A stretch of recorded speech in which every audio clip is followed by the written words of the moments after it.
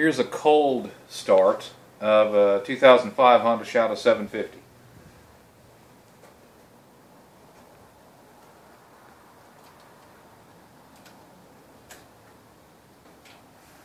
No choke.